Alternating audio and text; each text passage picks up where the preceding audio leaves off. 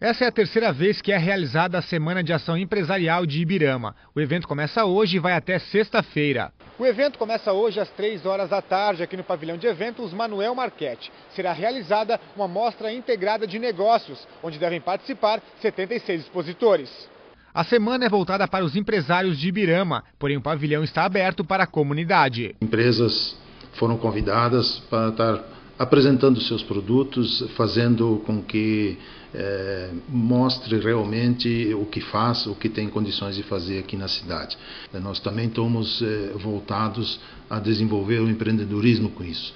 A Semana de Ação Empresarial continua amanhã com um teatro show com o título Se Sentir Bem, a partir das 8 horas da noite, na Sociedade Desportiva União. Na quinta-feira, também no União, às sete e meia da noite, será realizada uma palestra com o governador Raimundo Colombo, que vai falar sobre a infraestrutura em Santa Catarina, ameaças e oportunidades. E na sexta-feira, no restaurante Choperia Arca, será realizada às sete e meia da noite a posse da diretoria da ACIB e também o case de sucesso com Irani Pamplona.